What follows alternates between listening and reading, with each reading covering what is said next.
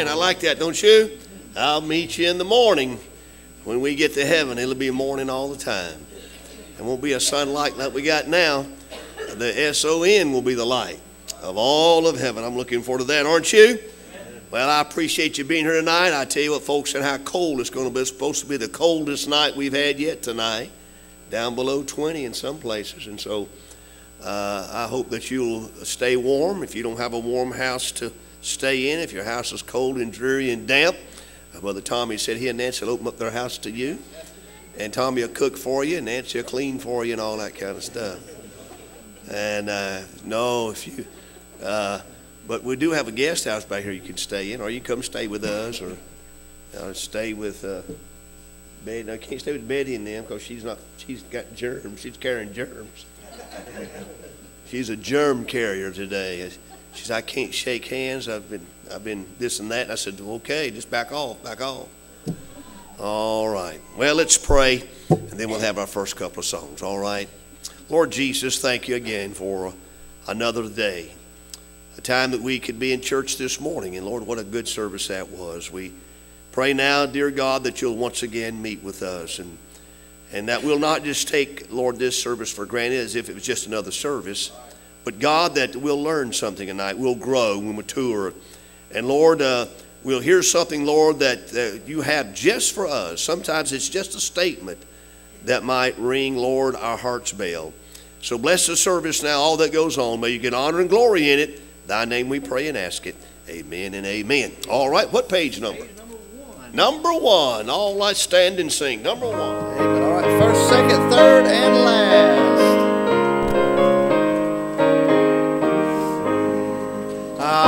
I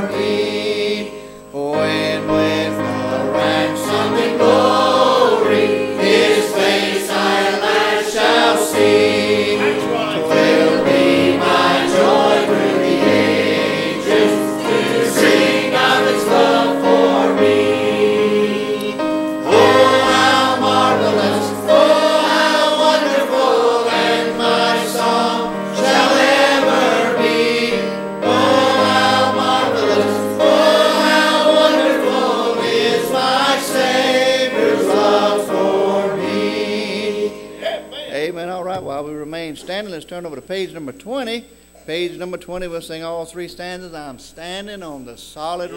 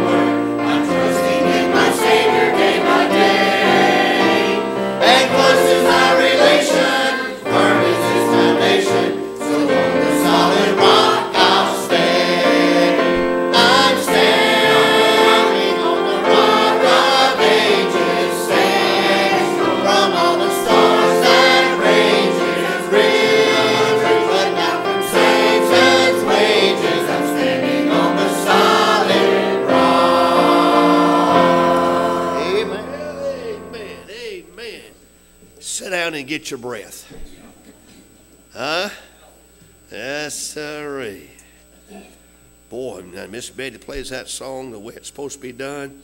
If you'd had Miss Baker on that song, we'd be really gasping. Yeah. Yes, sirree.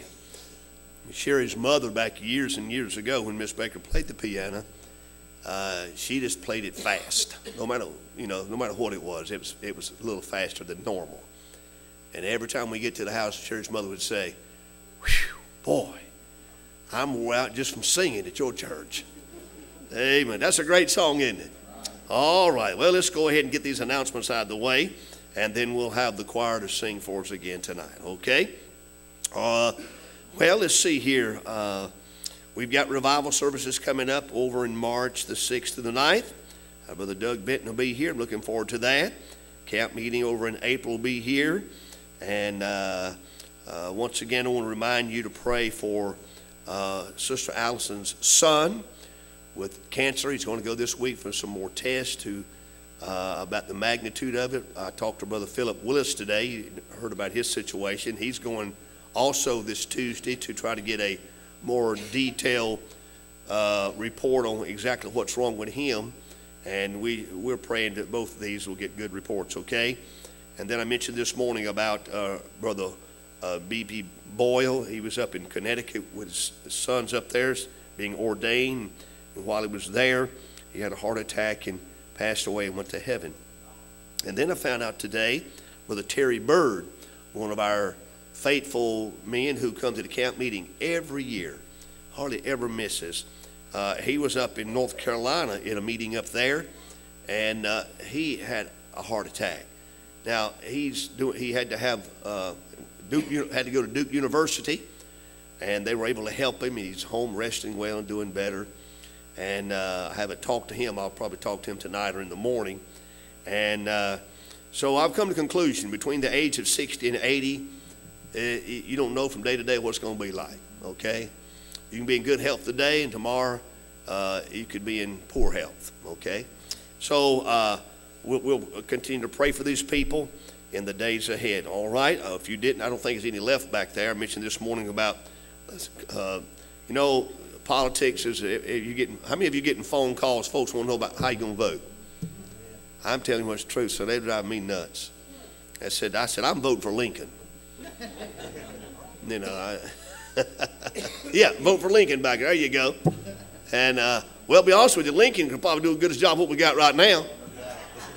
And uh, uh, you know, just flip a coin. All right, let's do this. But, uh, but it, we are we are in a situation, and uh, I've never told you how to vote. I might try to steer you a certain way because of, of Christian convictions, and uh, but I do know that there are some candidates who who are professing Christians. I won't doubt that, and uh, but even at that, you know, sometimes you have to uh, listen carefully. And hey, if you listen, that's what I found out. If you've got any questions about a, a, a fellow running for office, call the headquarters and just ask them. You know, where does he stand on this issue? And because uh, I'm telling you, the news media is biased. They really are. And they're going to tell you exactly what they want, they want you to hear from them. And the news media is super duper way out there liberal and they'll say anything, do anything. You see, the news media is has a lot to do with the last two elections we had, and they are pro-liberal. The news media is wicked as the devil themselves. So anyway, you need to understand. You need to ask questions, and and I understand sometimes as a citizen, we two people may be running for office, and you look at both of them and say, "Wow, is there anybody else?"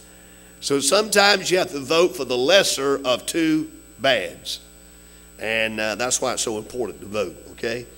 I do know this. I heard this that last election, there was something like, uh, uh, I forget, over a million professing Christians didn't even vote. Didn't even vote at all. And uh, so, anyway, uh, you need to be uh, stay up to date about these things in the day in which we live. All right. Well, that out of the way, the choir's going to sing. Listen very carefully. I pray it'll bless your heart.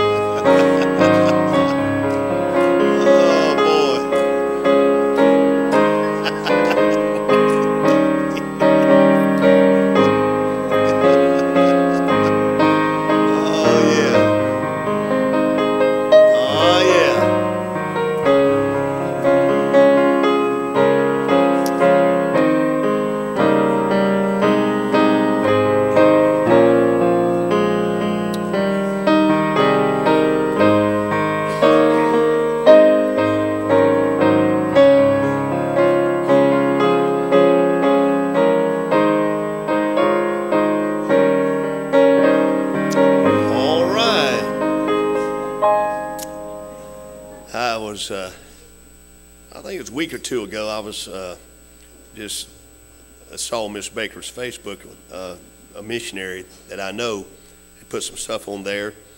And uh, even though he was in the States, uh, one of the churches that he helped get established over the Philippines, that great that typhoon came through there and just wiped all kind of towns and cities and villages out this one particular village, there was a church, and uh, one of the churches they had helped get started, they they'd come on to church, and, though the pews were there, uh, they were sitting in church, and water was up between the, their calves, but right right below the, their knees.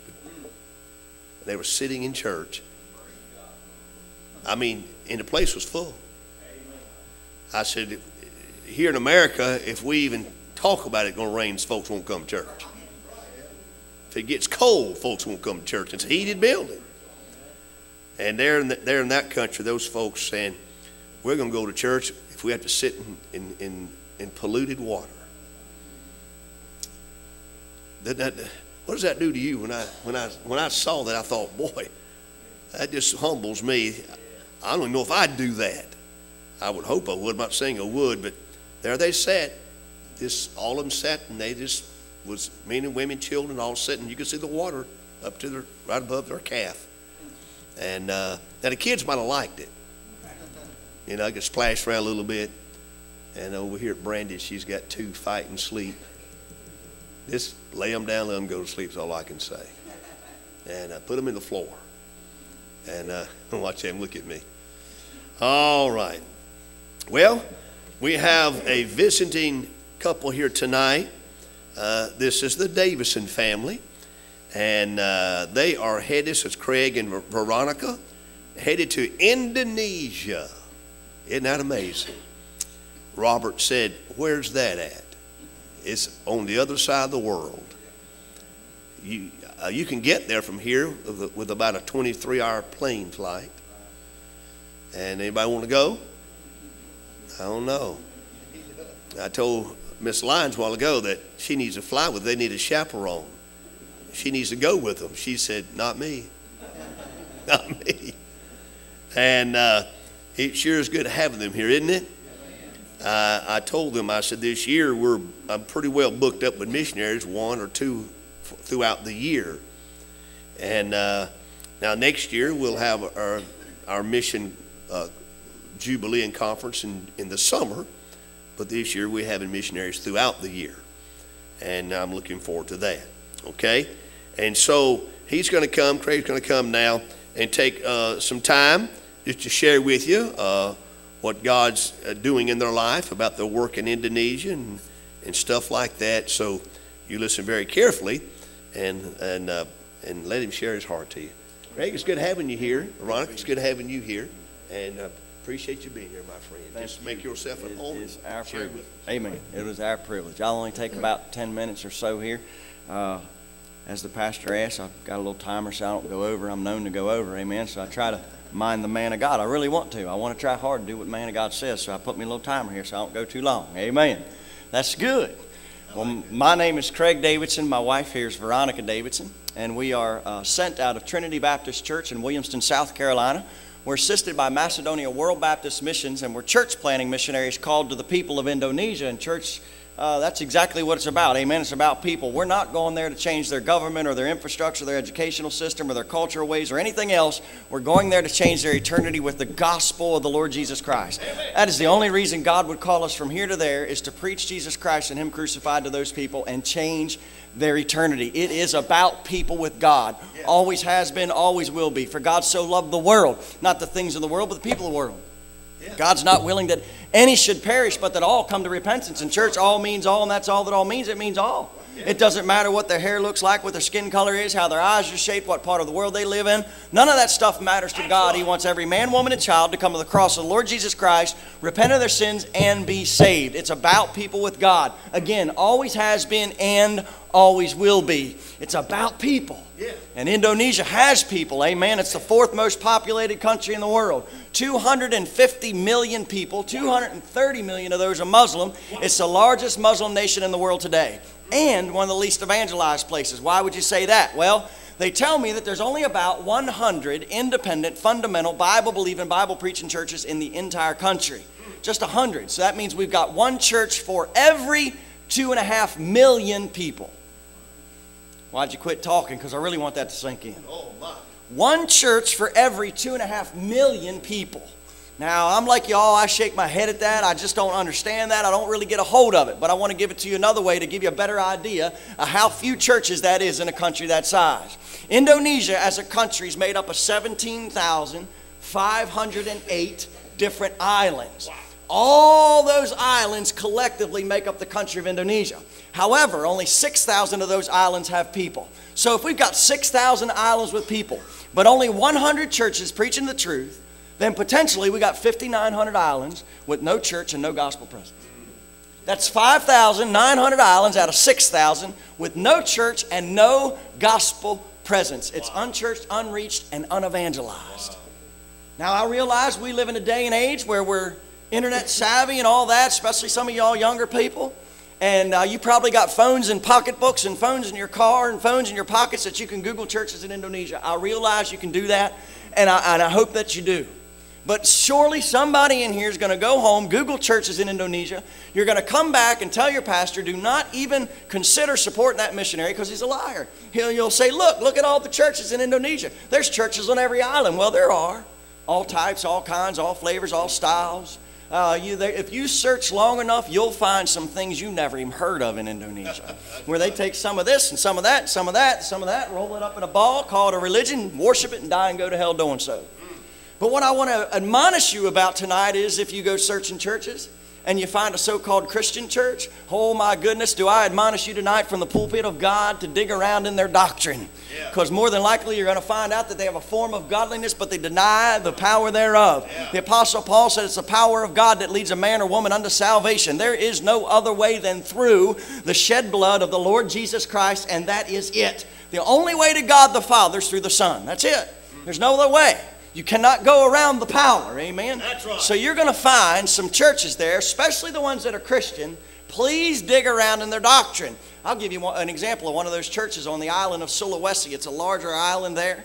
And if you'll uh, find this church there, it's a, it's a little white church. It's got a, a little white building there with a white cross above two wooden doors. There's a man there that walks around with a black suit and a white collar.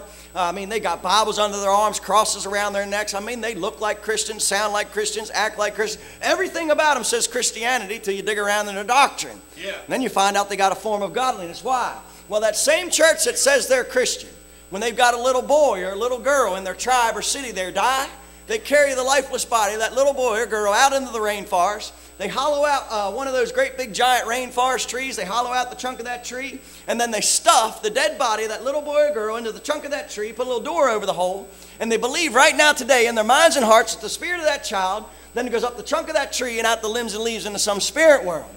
Now, I don't know about you, but that's not my Bible. No, no. Well, and they said they're Christian. They're not. They're not a true Bible believing, Bible preaching, God fearing, Christ honoring church. They're just not there. There's only about a hundred true, independent, fundamental, Bible believing, Bible preaching churches in the whole country. Just 100. That's it. One church for every two and a half million people. It's unreached, unchurched, and unevangelized. Not only that, when we look at the fact of how few churches are there and how many islands are there and how many people are there, but church, it's also a great need for the Word of God to get there. There are 742 dialects of language in Indonesia. God help. 742. And only about 100 of those have the Bible or a portion of the Bible in their native tongue. So potentially we got 650 languages in Indonesia that have no word of God, none.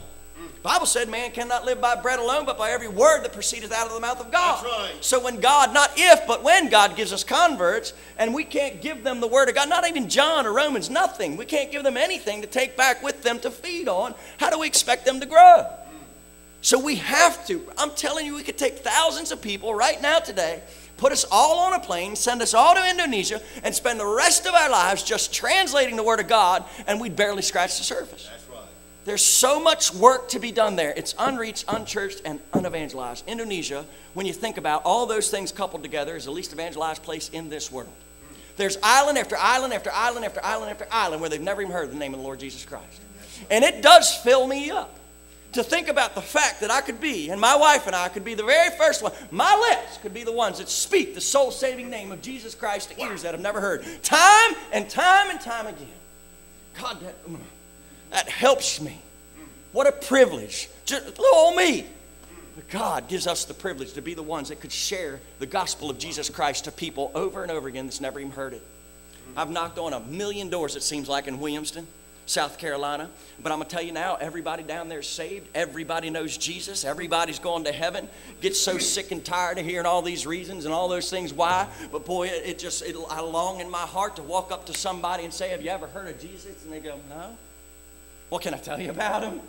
Amen. Wouldn't that be a good day? Wow. to be the first one to speak the soul saving name of Jesus Christ to ears that have never heard.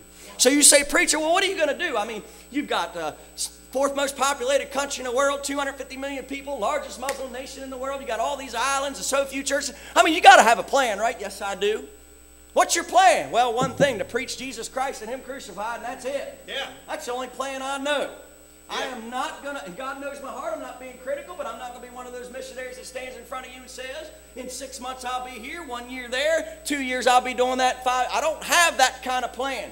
When I go there, if I go there plan's going to be the same as if 10 years from now, and that plan is to preach Jesus Christ and Him crucified. Why? Because it works. Yes. It's worked for 2,000 years. It worked in my life. It worked in your life. Why would I make a new plan? Why would I come up with something different when this works just fine? Yeah. So I want to go to Indonesia, go there, be obedient and yielded to God, and preach the Word of God. Preach Jesus Christ and Him crucified. And that's it. That's our only plan. And I believe it's going to work. I believe we can turn Indonesia upside down for Jesus if we just sow the seed of the Word of God. Not because of who we are, but because of who He is. Who He is. God's the one that gives increase. I realize that this is up to her and I need to quit now and go home. Forget it. But it's not. We just be the instruments in God's hand. God gives increase. Isn't that what Apostle Paul That's said in right. 1 Corinthians chapter 3? That's He right. said, I planted, Apollos watered it, but what God gave the increase. Yeah, God yeah. uses people. He works through Paul. He worked through Apollos, just like he can work through her and I to reach the people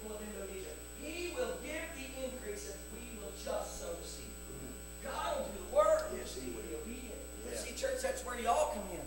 We need you. Again, I'm one of those guys, what you see, what you get. I'm not ashamed to ask for support. We need it. I'm not a rich man. It can't out. I need you. Yeah. We need you. God, God gives us that in His Word. He said we labor together with Him to turn the world upside down. Yeah, Jesus. Yeah. So it's her and I and you partner together. That's what it is, partnership. Yeah. Which literally means in, in, the, in heaven's economy, when we're sowing the seed of the word of God in Indonesia, you're there with us. Yeah. Isn't that good? Yeah.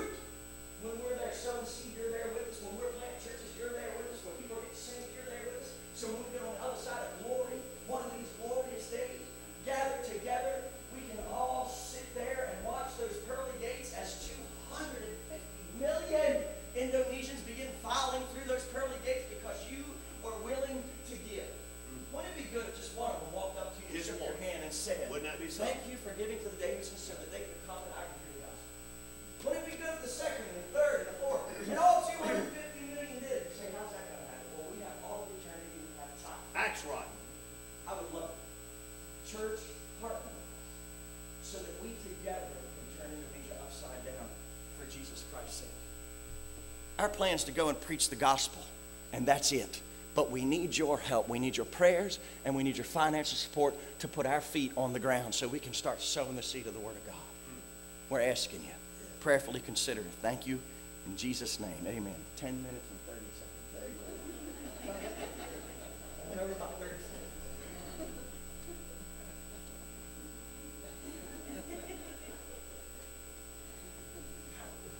We can't support this guy. He, he don't want to go nowhere.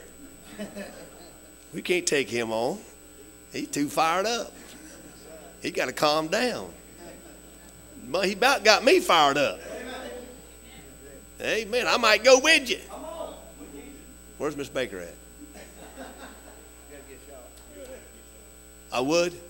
Got to take shots. I don't feel the call now. the nudge is gone. yeah, yeah, I know.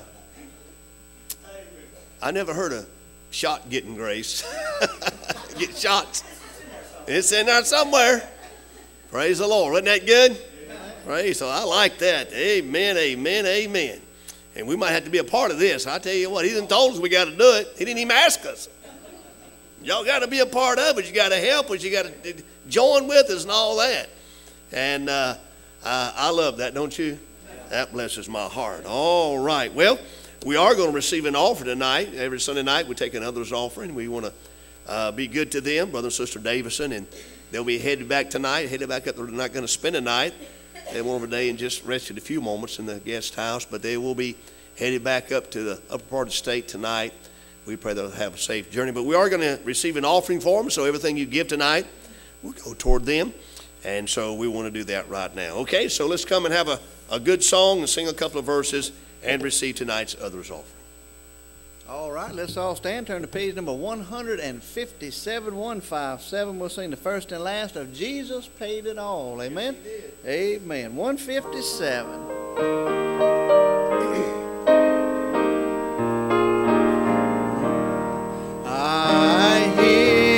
Savior say, Thy strength indeed is small. Child of weakness, watch and pray. Find in me thine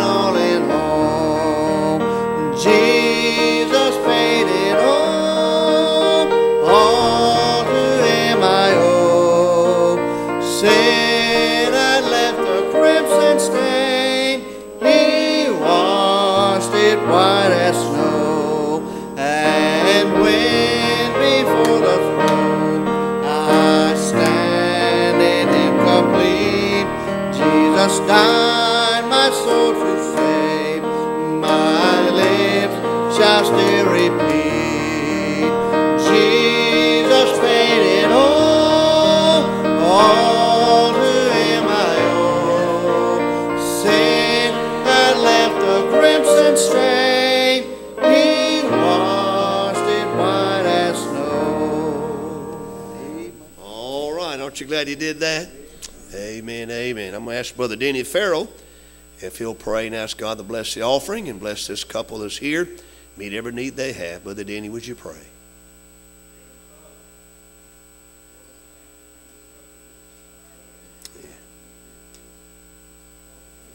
Yes. Yes.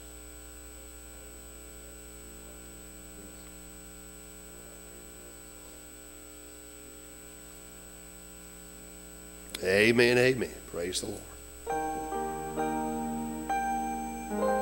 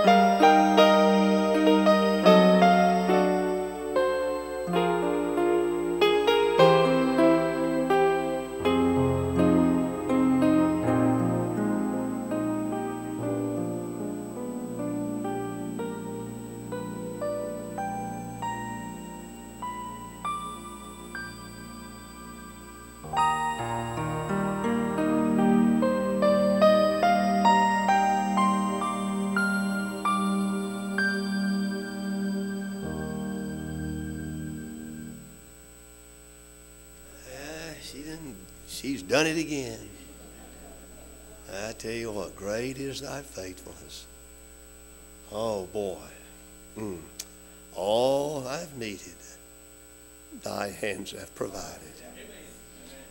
Uh, somebody's preacher, do you do you come prepared to preach when we have missionaries? I come prepared to preach every time we come to church. What was you going to preach on tonight? Well, he's going to preach, but I, I was going to preach on this thought tonight. You can do it. Well, Paul said, I can do what? All things. I was going to preach on, you can do it. Amen. Amen. Well, but Brother Davis is going to come and he's going to preach. We're going to let him do it as far as the preaching, all right? It's good to have you here, preacher. Amen. I pray, I pray God will bless you as you preach. What time I want you done? About ten. We'll do what we can. No, just, leave that up to the Lord. Okay, amen. I should be done by then, praise the Lord. Well, again, it's good to be here tonight, and uh, I just appreciate the presence of God, the liberty of the Spirit. Amen. It's not like this everywhere we go. It's our 143rd meeting, and uh, again, it's just not like this everywhere we go. So I thank God for these times. Uh, Luke 17. If you go to Luke 17 with me, I was talking about some of the things about the physicalities of Indonesia there in that presentation. And uh, my wife and I went to Indonesia in October of 2014 on a survey trip, and church, that's what it was. It was to survey Indonesia. We were not going there to confirm God's call. God did that long before October in the Word of God and in prayer. We knew God called us to Indonesia. So it wasn't a confirmation trip, it was a survey trip. So we went there to survey what we were getting into. Part of me wish I never went to survey. I'd have just went once I had the, the money and just went, you know. I had the support, but uh, nonetheless, God opened that door and we went there October 2014 and, and, and we, we saw a lot of things in those 14 days and experienced a lot of things in 14. It changed our lives. We were people who thought we, we were very considerate of, of the things God gave us on a daily basis. And we never wanted to take things for granted, but we didn't realize how much we did take for granted until we got to a place like that. Indonesia is more or less a third world country, and most of it, so on and so forth. But I mean, there is no clean water in the whole country. Uh, the, the food, every time you eat, you got a 50 50 chance of getting some kind of a foodborne illness, some kind of a disease. Uh, you know, there's a daytime mosquito that gets you, a nighttime mosquito that'll get you. Uh, one of them gives you uh, malaria, the other one gives you what they call dengue fever, and dengue fever has a nickname called breakbone disease. And when they told me about that, I said, You got, you got to tell me what that is. I, that don't even sound good. Breakbone disease. It's where the mosquito bites you, and then it feels like your joints, every joint in your body is being crushed. And the older you are, the longer it lasts. There's no pill, no vaccine, you just got to let it run its course. I said, Man. And it just all these different things that we faced and we're up against and they told us about that we never even did see or it had to in 14 days we didn't face. But all these different things. So i'm, I'm on a plane for 23 hours coming back home. That's a lot of time to sit in one seat and think about what you just went through and what you just saw and what god was calling you and your wife to. So I mean, it's just not me. She's going too and she's going to have to go through it all as well. And i'm, think, I'm thinking in 23 hours i'm sitting i'm thinking god you got to help me here because I'm thinking back on all of that stuff, all the circumstances of what I saw, and all the physical things that are against us. And I said, Lord, you've got to help me if you want me to go back there and do what you asked me to do and, you know, preach the word and disciple those, those converts and plant independent Baptist churches and do all that. You're going to have to help me. Because, I mean, you didn't make it a bunch of roses from what I saw. Yeah. It just didn't look good, didn't really feel good. That's right. I said, God, you got to help me. And the one thing that kept coming back to mind is I kept wanting to ask God for faith. God, you have to help me with faith on this. You got to give me the faith to be able to do what you're asking me and my wife to do. And as I sat on that plane, I thought about this, what the disciples had told the Lord in Luke 17. Jesus told them about forgiveness, and it was what he, what he taught them about was radical. And when they realized and they let it sink in, we dropped down to 17 and 5, and the Bible said this, and the apostles, which are the disciples, said unto the Lord, Increase our faith. Jesus, what you just taught us is so radical and so backwards and so what we're not used to. And I can't, I can't see it in my own mind. I can't make it add up. Lord, you're going to have to do something, and that is increase our faith. And notice in your Bible, it's not a question mark there at the end of the verse, it's a period. It's a statement. They weren't asking Jesus if he could, if he would, or if he was able. They simply said, Lord, here's my statement. If you want me to do what you just asked us to do, you're going to have to increase our faith. It's a statement. So as I'm sitting there on the plane for 23 hours, I said, God, you're going to have to increase our faith if you want us to do what you're calling us to do. That's good, preacher. That's what I need. Amen. I need faith. God, give it to me. I, it wasn't a question, it was a statement, just like they said here. And what, as I think about this verse, what gets me, church, is they are, the disciples have Jesus standing in front of them. Do you get that? It's the Son of God, the second part of the Holy Trinity's there in front of them. God in the flesh, right there, and they could have asked him anything, but they asked for faith. They said, Give us faith. Faith. Out of all the things that you could petition God for or say to him, Isn't that something? and it's faith. Why wouldn't you say, Teach me to walk on water? I mean, that's something that would be high on my list. I would love as many little ponds and lakes as we passed between Goose Creek and Walterboro.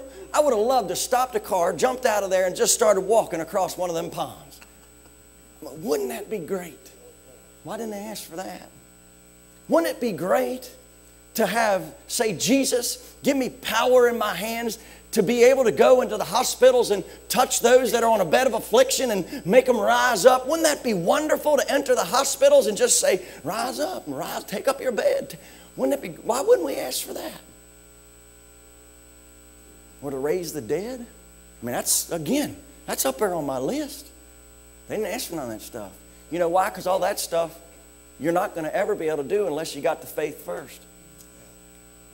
You'll never walk on water without faith. You'll never raise the dead without faith. You'll never touch somebody and raise them up out of a bed of affliction without that faith. God, increase our faith that we can do what you've asked us to do. And it amazes me as well that they didn't ask for knowledge.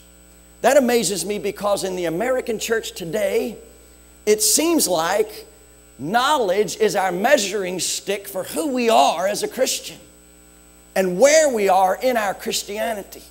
There's nothing, don't get me wrong, there's nothing wrong with knowledge in among itself. That's right. Nothing at all. It's good to know the Word of God, divide the Word of God. Bible admonishes us to do so. But let me ask you something. What good does it do you if you can memorize every verse? If you could stand up right now and quote the entire Bible from Genesis 1 1 to Revelation 22 1, 21, what good does it do you if you can quote it all, but you don't have the faith to believe it or walk in it? That's right.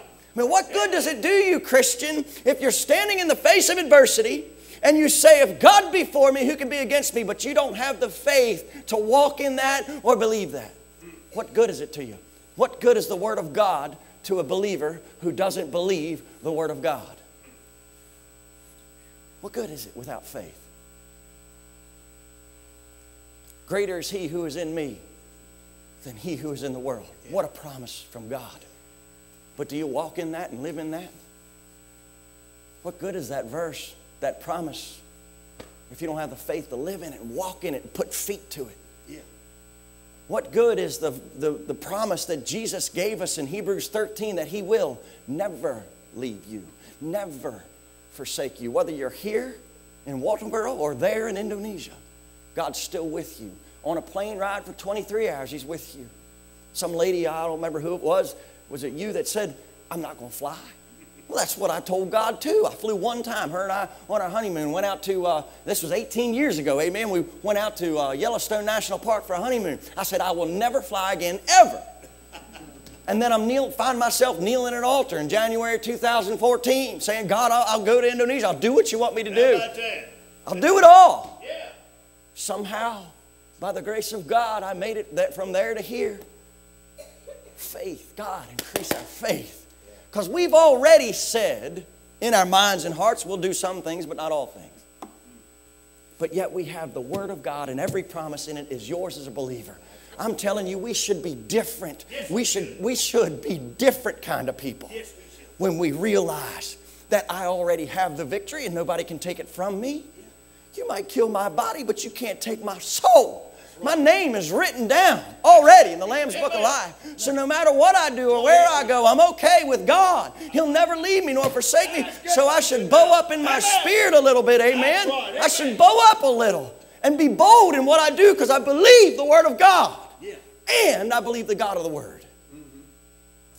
Faith. God, increase our faith. They didn't ask for knowledge. They didn't ask for understanding. God's already told us in His Word that you can't find my ways out. You can't, if you think you've got God figured out, then God's not God anymore. You can't know the ways of God. His ways are higher than yours and higher than mine. Amen. So they didn't ask for understanding. They didn't ask for wisdom or talents or any of that stuff. They said, Give us faith. No doubt you've asked God for a lot of things today. But when's the last time you said, Give me faith? See, that rends my heart, man. Oh, I'll lay down there and I'll get on my knees or on my face and I will beg God. Sometimes, even, oh, it's almost like I'm badgering Him with all these requests. But what good are those requests if I don't even believe God can handle it or do it? That's good. Faith. God, increase our faith. Why? Well, there's a lot of reasons, but I'll give you just a few here.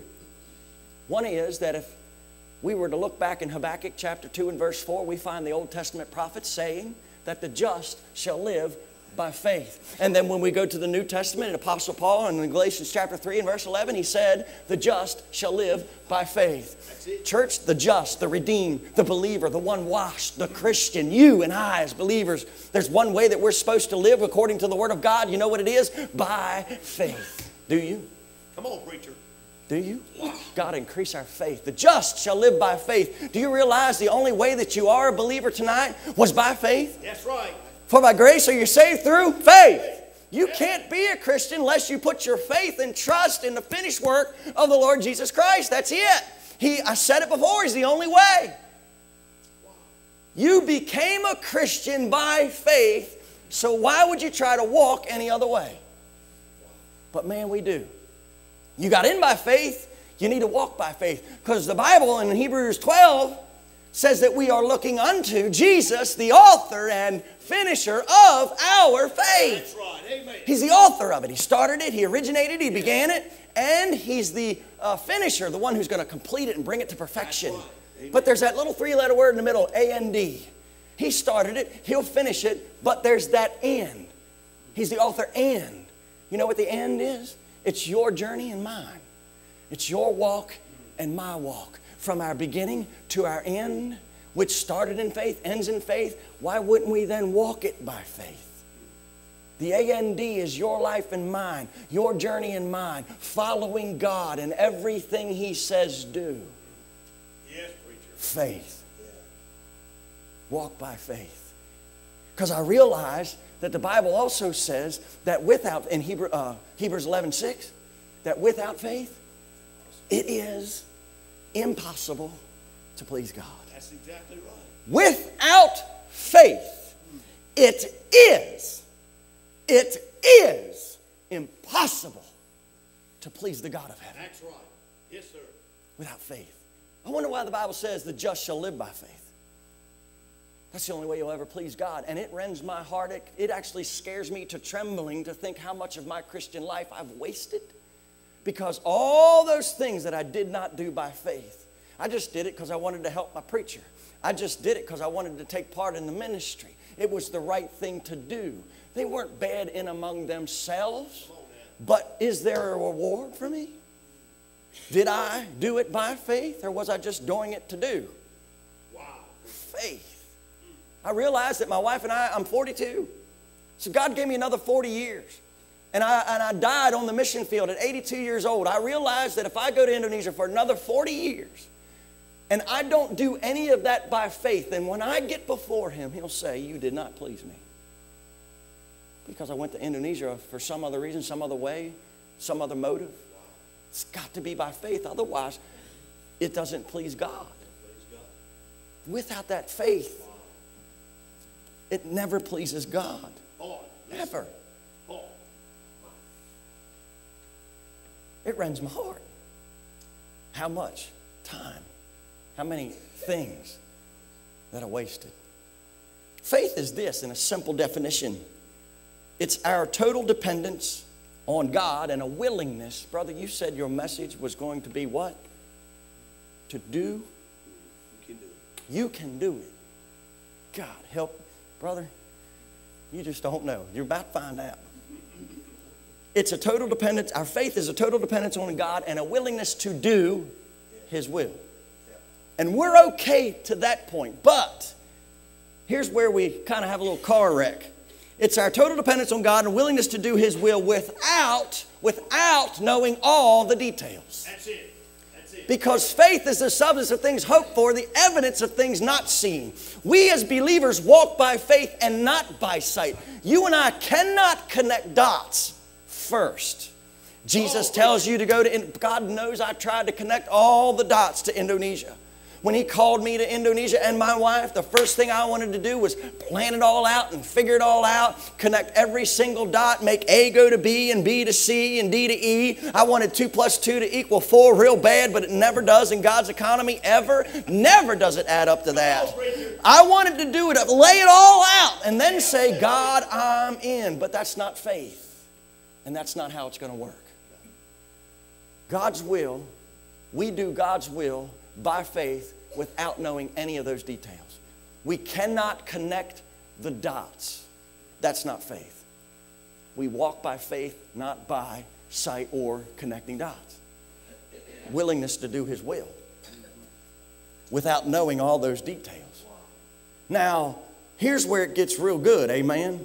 Because I find the most simple, uh, honestly, the simplest definition of you and I as a believer in John chapter 2 and verse uh, look this is what this is how each believer in here should live. This is the simplest definition of who you are and what you ought to do as a christian. And it came from the mother of the lord jesus christ in john 2 and verse 5 she said this whatsoever he the lord jesus saith unto you as a believer do it.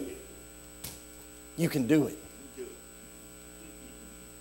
Whatsoever he saith unto you do it you know how you'll live that kind of life faith You'll never live that way. You'll never live a do it kind of life, lest first God increase my faith. You will not respond to what God says and just do it. You won't. Notice she didn't say, you know, uh, whatever He says to you, memorize it, quote it, debate it, seek wise counsel about it.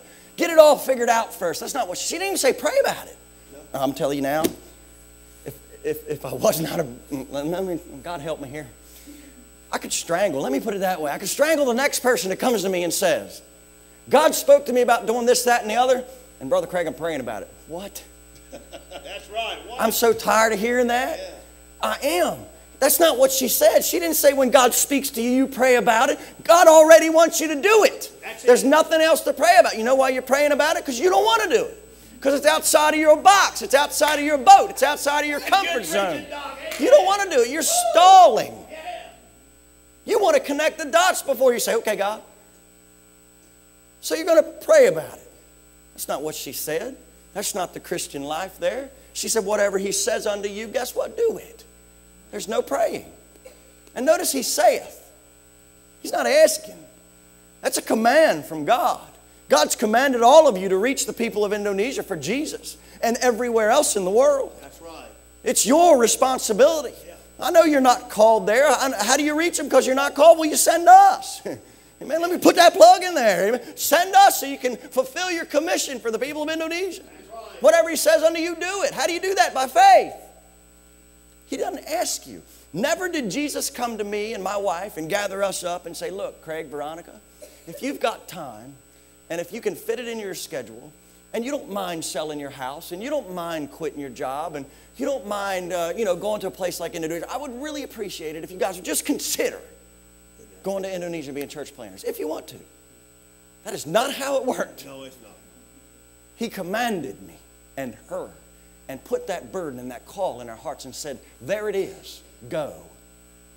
Whatsoever he saith unto you, saith, not asketh, but saith, you do it. Do it. I find that to be who we are and what we are as believers. And even Solomon and all of his glory, and Solomon had everything. I mean, he had it all, he did it all, he experienced it all. Even he said in, in chapter 12 of Ecclesiastes, he said, Here's the conclusion of the whole matter fear God, keep his commandments. In other words, fear God and do what he says. That's right. Because that's the whole duty of man. That's our whole duty. That's our purpose as believers. If you're here tonight, God's not done with you. If God was done with you, you wouldn't be here. Come on. God, I don't care if you're 6, 16, 60, 6,000, it doesn't matter how old you are. If you're here, God still has something for you to do, and He's talking to you. I guarantee you He's talking to you. Now, you may not be hearing Him because you're looking for some big thing the wind, the fire, the earthquake, some kind of a big sign. But more than likely, He's speaking to you in a still small voice. And that's very easy to ignore and push away because you don't want part of it. Whatsoever He saith unto you, do it. One way to live that way, God increase our faith. It's amazing when I look through the Bible and some of the things that He asked His disciples to do. I mean, for example, He, he, told, he told the disciples in Mark chapter 4, just get in the boat and go to the other side. That's all the directions He had.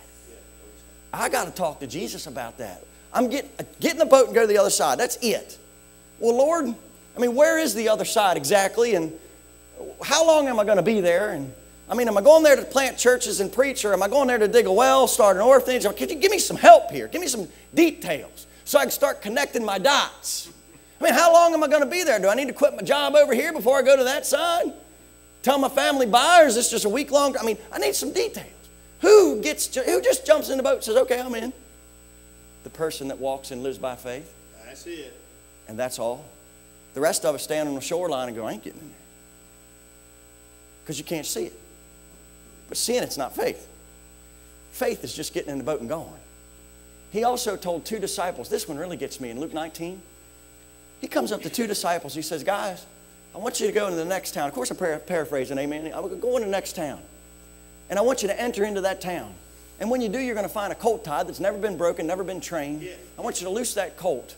And I want you to walk that colt back to me. And by the way, when the owners of that colt say anything to you, just tell them the Lord has need of them. Go on. I got to talk to Jesus here. I mean, really put yourself in their shoes. Okay, Jesus, hang on a minute. That's a big town over there. So, exactly where is it you want me to enter in? I mean, is there a crossroad, a certain tree, some kind of path you can put me on?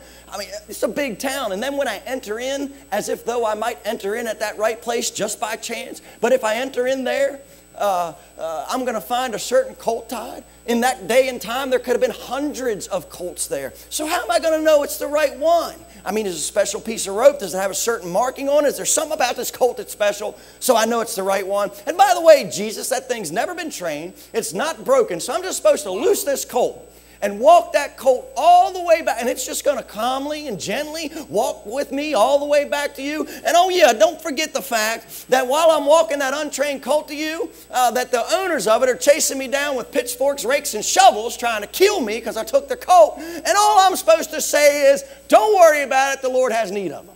And all that's going to work out, right?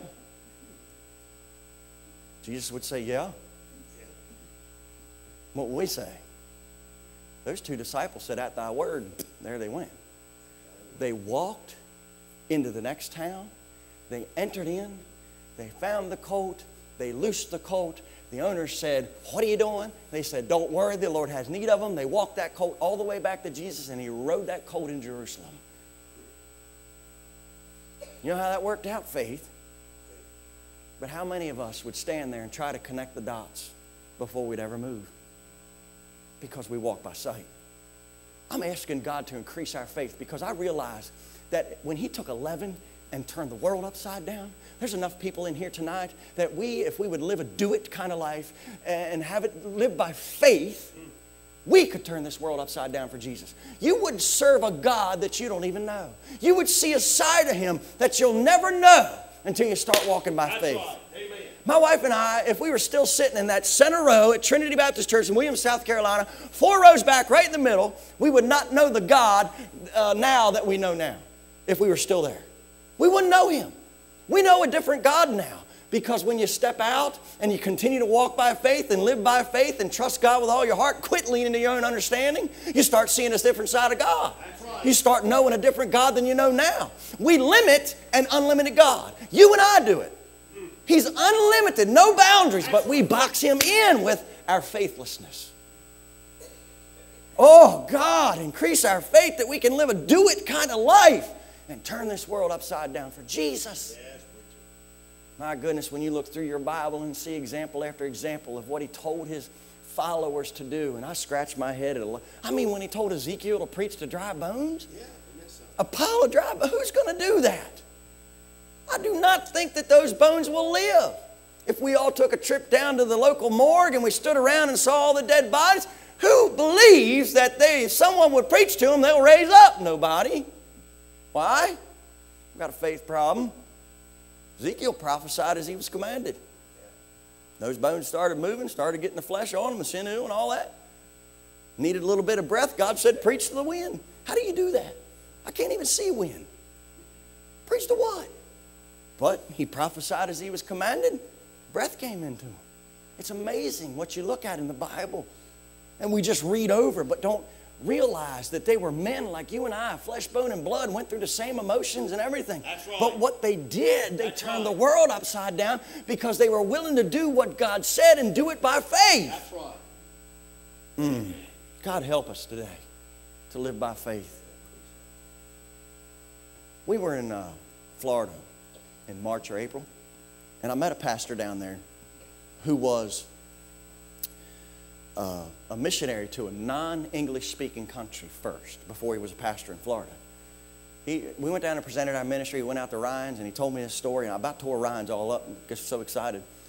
He said, Brother Craig, I went down there and I was discouraged. I went down there to church to plant churches. And I was trying and trying and trying. Nothing was happening. He said, but one day God spoke to me almost in an audible voice. He said, I absolutely knew it was the will of God.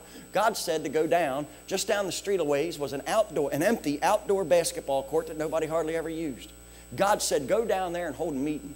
He said, I knew that that was the will of God. That's what God wanted me to do. He said, I knew it without a doubt.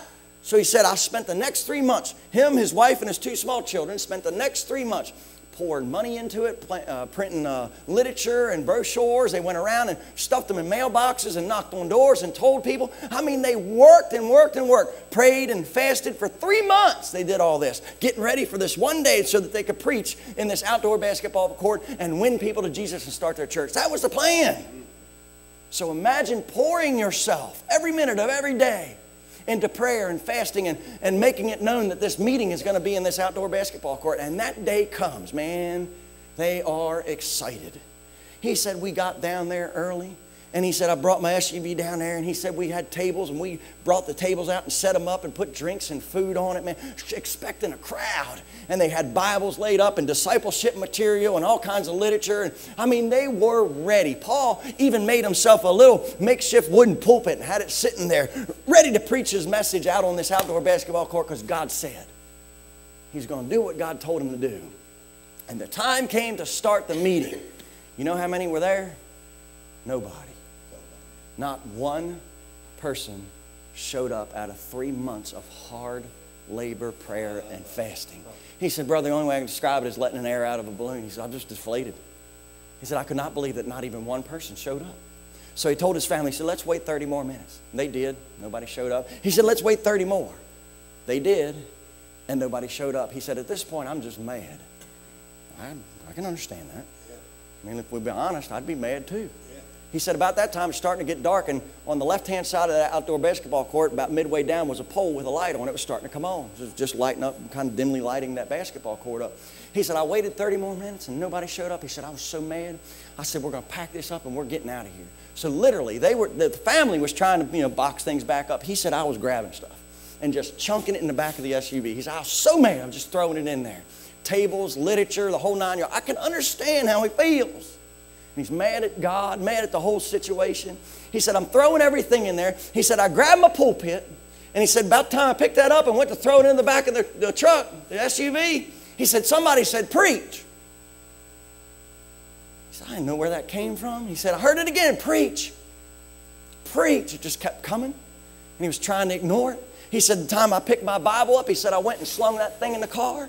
And I was grabbing some other things to throw in there. He said, I kept hearing it and it was coming faster and louder. Preach, preach, preach. Everything I was picking up, preach, preach, preach. Finally, it was so loud and so often, he stopped. He said, I looked at the sky and said, Preach to what? He knew it was God speaking to him. All he could see is an empty basketball court. God, what do you want me to preach to? His wife is now standing over there crying, wondering what's wrong with him. The kids are thinking, What's wrong with dad? They're scared. He's over here yelling at the sky. What do you want to preach to? Ain't nobody here. I mean, I can feel, I understand what he's going through. But preach, preach, preach, preach, preach, preach, preach. That's all he heard. He said, finally, I got so irritated and mad. He said, I grabbed the foot of that pulpit in the, car, in the truck. He said, I dragged that thing back out and I slammed it down on the ground. He said, I was like a three year old having a temper tantrum. And I can understand that too. He said, Give me my Bible. And his wife, she said, she was, here, take your Bible. He's like, thank you. He put it down on the pulpit and he said, I slung that thing open and took it to my text.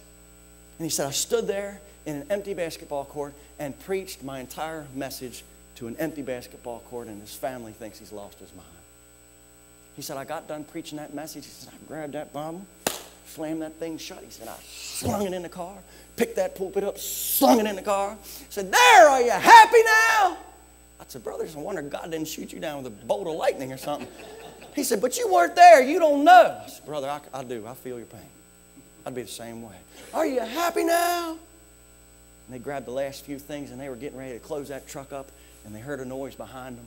See, there was on the, on the right hand side of that basketball court was a real thick tree line. And about the time they were about ready to close that thing up, they heard a noise. So they turned around to see, and here comes this old woman about half bent over. They said she comes walking out of there, out of the darkness there into that dim light. Boy, that'll preach. Come out of that darkness into that little dim light there. right. Amen. And so he turned around and said, Can I help you? She said, Well, I was sitting over there on my balcony, and I heard what you said, and I want to know this Jesus you've been talking about. Wow. So he got to lead that old woman to Jesus Christ, his very first convert. What's the big deal? The big deal is that he only saw an empty basketball court. He couldn't see what the, what the God of heaven could see. And that was an old woman sitting on her balcony. And I believe that was appointed and anointed from the dawn of time that Paul would stand there in that empty basketball court and preach that message so that she could be on her balcony on that same appointed day and hear that message. It was not about filling up the basketball court, it wasn't about putting out all the literature. See, Paul connected a lot of dots he didn't need to connect. He should have just showed up and preached it right there in that basketball court because there was only one woman needed to hear. Yeah. Oh, church! How do you preach to an empty basketball court? By faith. You do what God says because you can't see what God can see. The next time God asks you, no, tells you to do something that doesn't make sense, that doesn't add up, that two plus two doesn't equal four, and A doesn't come to B, you just do what He says when it doesn't make sense because God sees something you can't.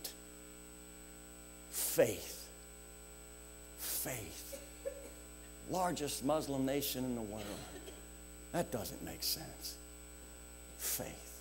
Why would somebody go to North Korea and preach the gospel? Faith. And it doesn't even have to be far and field. What about when he tells you to walk across the street and knock on a door? Yeah. What about when he tells you to witness to someone you do not like? Mm-hmm. Faith. Enemy. An enemy of yours.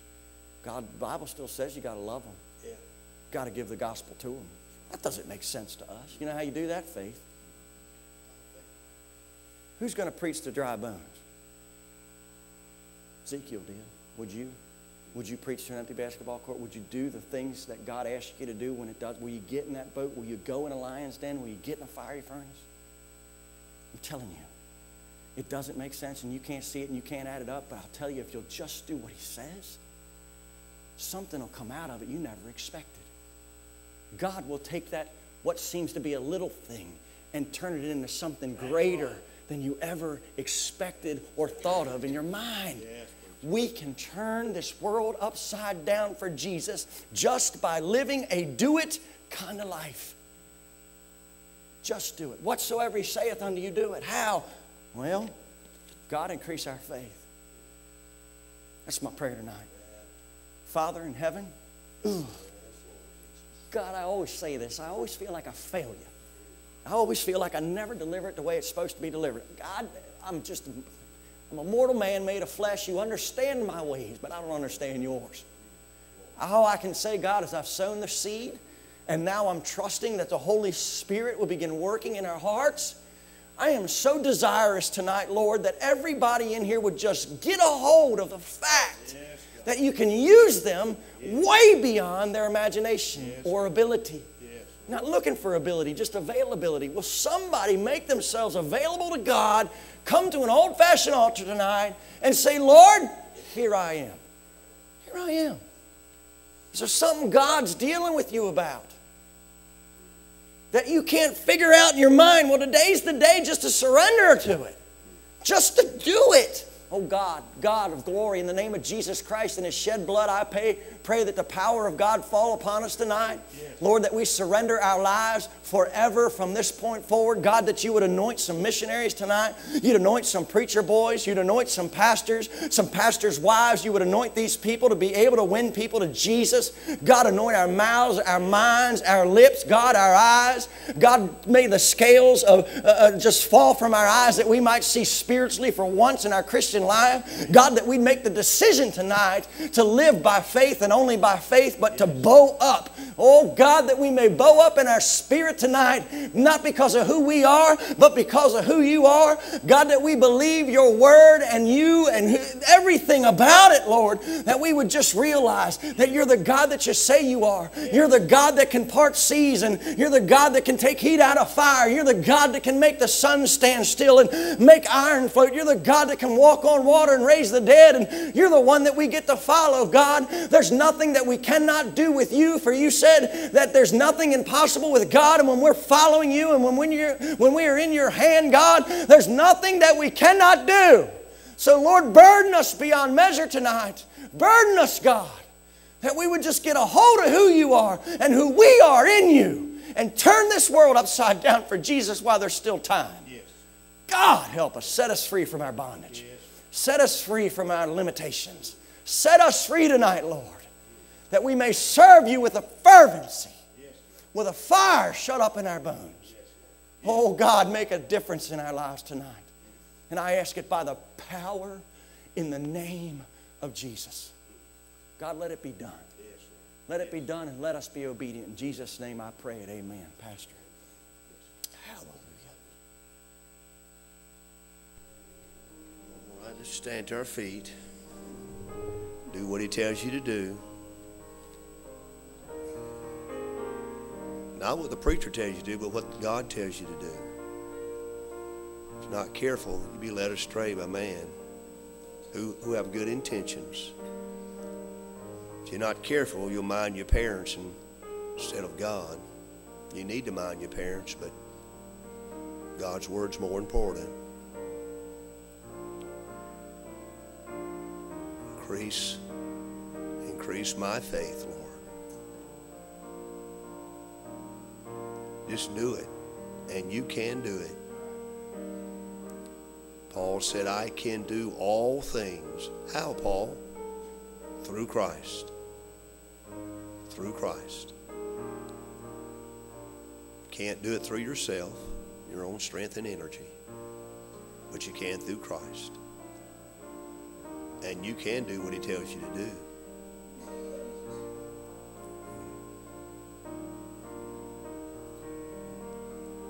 Preacher said you can't live by figuring it out, planning it out. Just do it. Just do it. Just do it. And that's for all ages, too. Teenage boys and girls, children. Just do it. Increase, increase our faith.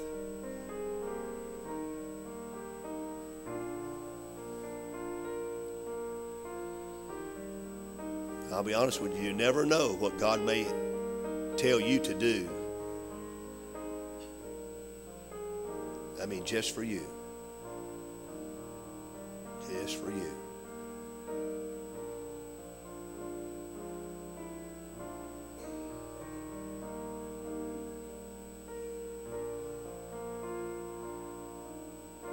I've heard preachers say, Do what I say, do what I say. Mind the preacher. And there's a small truth in that. I'm going to tell you something. The greatest truth is doing what he says. That's the most important thing.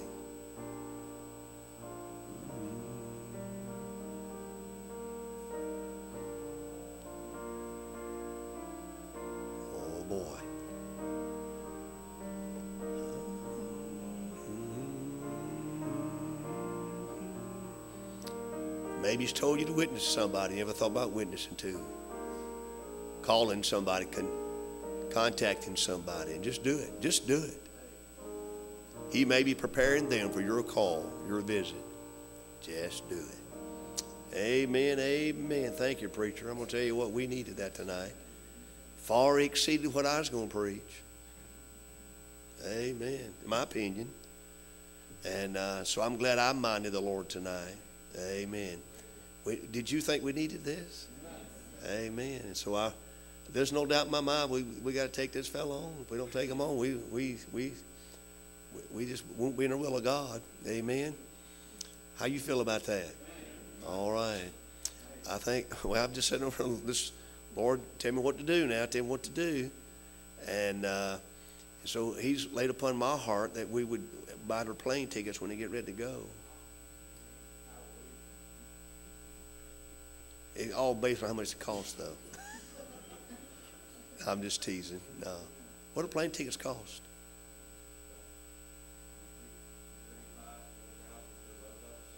Three to four thousand dollars for both of you. Just let us know. Okay. What do you think about that? How can a church this size do that? Well, that's because we got a God bigger than us. We got a God that's not limited to a building. And uh, so, uh, since we're going to take them on, that means we're going to have to increase our, our faith, what? Promise giving. All right, preacher, I'm going to add some more to mine. You just keep adding to yours, and he'll keep, and he'll keep adding to you. Doesn't it work out that way? Yeah, okay. Ain't that a blessing? So just let us know, okay? We'll, we'll uh, take care of those plane tickets. Amen. How about that? Anybody wants anybody wants to say something? Give, yes, sir.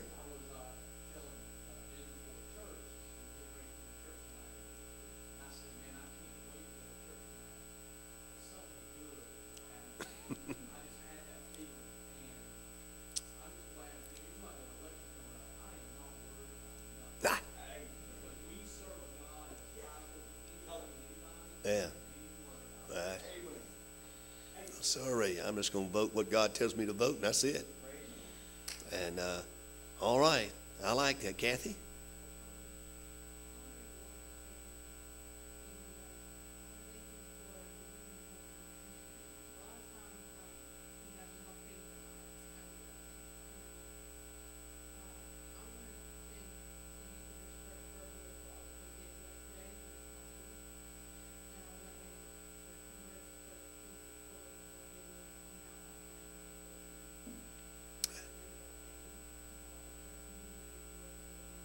Amen. What a blessing.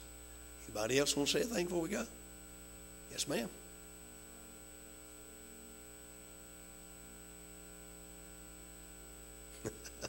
a really good family. Save me give me a really, really good family. Ain't that a blessing? Amen. That's good. Anybody else? Before we go? Because if he's told you to testify, you better do it. You better do it. That it? All right. Well, uh, don't leave before you get your offer now, okay? Don't leave. Don't. No missionary leaves before that. Okay. The treasurer's here too. Okay. We'll get a check from the treasurer and give you give you a love on before you leave, and uh, we'll try to make sure it's more than twenty bucks. Okay. Now you think I'm kidding you? There was a missionary one time. This is this is forty years ago or more told the story. He went down, to, and, and of course he didn't. I just drug it out of him. I said, "Tell me what happened." He said, "You don't want to hear this story." I said, "I want to hear it." Went all the way from North Carolina, all the way down to Georgia. Left on a Saturday. Preacher said, "Come on down. It'd be better if you got there on Saturday." Because he, so the preacher came on down. The missionary came on down. Missionary and, three or four children came all the way from the mountains of North Carolina all the way down to central Georgia. Got a motel, called the preacher. Said, We're here. And the preacher said, That's good. We'll see you in the morning. Hung up. Didn't say where you stand, what you need. Just, we'll see you in the morning. So he had to get a motel room, which took most of his money. Got next morning, had a little bit of money left, and uh, got a little something to eat. Went to church. Preacher's there and said, "We're glad to have you." Said, "I want you to, I want you to, I want you to speak in Sunday school this morning." So he spoke in Sunday school. The adult class took a little offering, and when Sunday school was over, they went to church service, and that was it. Didn't say it's good to have missionary so and so here. And when church was over, everybody left, and he was out in the parking lot with his wife and three kids by himself. And they and they were coming here that night. And so when they got here, they called me, and I said, "Well, we got you a motel room. You want to, and we want to feed you." Because we didn't have what we have now, we just gave him a motel room. He said, "You gonna put us in a motel room?" I said, "Yes, sir." And uh, you want to eat, eat before church or after church? He said, Well, we better eat after church because we can't get time to eat now. So after church, we took them out to eat in a nice restaurant. And what makes it so good is, I said, get anything you want. We've got, we're going to buy you a good meal. And the kids, all the kids got hot dogs. and what, what made it, what, what brought the story to light was because he said, he said, this ain't what we got this morning. And uh, so we want to be good, all the preachers. We, we know that. Okay. But anyway, that doesn't, that's a rare story. That's most missionaries are well taken care of. You'll testify that. They have view, very few horror stories, but there are out there. And so uh, we want to be a good story, not a horror story. All right, so we're going to dismiss in a word of prayer. You want to step on back there, preacher? What, what, what? Oh, B, I didn't see your hand, B. Yeah, well, I am so sorry. Okay, go ahead.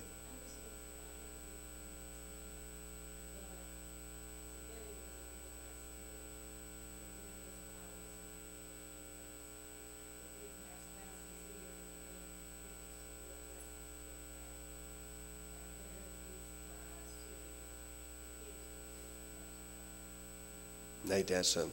My wife said it's probably the best thing in the whole service this morning. I mean, as far as, you know, just what, I don't, well, as far as this, the, uh, forget it. In other words, to do that was exceptional, is what she was saying. Amen? Am I making sense? I do sometimes. Preacher, get on back there and let folks speak to you. Amen. Don't leave. We'll, we'll get you that love offering, Jack. Well, it's been good, hasn't it? I tell you what, every church needs to hear that message tonight. Could I say every church? And, and if any, any church needed it, we needed it. All right. So hope you'll have a great night. And uh, tomorrow we're going. Uh, this week we're going to mail out our letters to the uh, churches and people for camp meeting. Give them the details. We normally get it out in January. Here it is, the middle of February, and uh, we're going to go ahead and get this thing rolling. And how are we going to do it? By what? By faith. Amen. Let's pray. Father, thank you tonight for what you've sent our way. We pray, God, that you'll bless this couple as they continue their journey, Lord, as they head to Indonesia, the place, God, you uh, want to plant them. And God, I pray that they'll bloom there for the glory of God. Lord, help us to be a part of what they'll do in the years and months and days to come. In thy name we pray. Amen and amen. God.